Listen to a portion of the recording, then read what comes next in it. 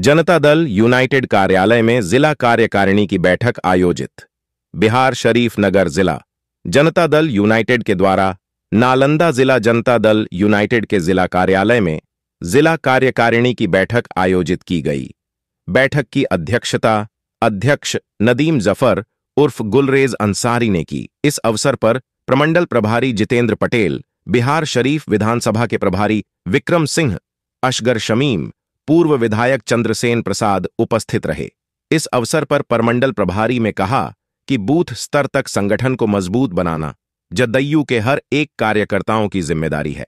वही इस मौका पर प्रदेश सचिव महमूद बख्खो, जिलाध्यक्ष मोहम्मद अरशद, अमजद सिद्दीकी, मेराजुद्दीन, पप्पू बनौलिया, शशिभूषण प्रसाद, इंजीनियर अली अहमद, अजय पासवान, संजीत यादव, निरंजना गुप्ता, पप्पू रोहेला, रितेश, शकीबुल हसन कफिल बाबा सोनू रविदास अतिकुर रहमान बबलू सिंह सहित कई कार्यकर्ता उपस्थित थे।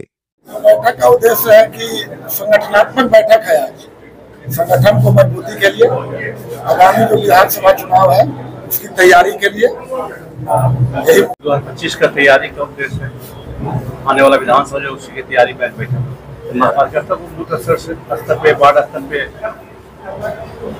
मज़बूत करने के लिए बैठक है। और मुख्यमंत्री द्वारा जो किए गए कार्य को जन जन तक पहुंचाना है, हर घर तक पहुंचाना है, हर व्यक्ति को इसकी जानकारी देना है, यही उद्देश्य है। आज युवा नगर का जो है बैठक है, उसमें युवा भी है, व्यावसायिक प्रकोष्ठ के भी लोग हैं आज उसकी बैठक बुलाई है उसी में हम भी आज आमंत्रित थे, आपके हम पहुँचने का काम किए हैं। ऐसे तो खास करके 2025 को हम लोग देख रहे हैं।